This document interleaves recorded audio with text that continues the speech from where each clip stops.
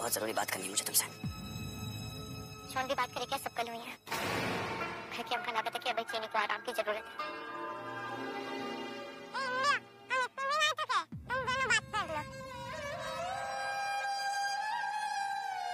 बिना कोनो बात के इतना वक्त निकल गया।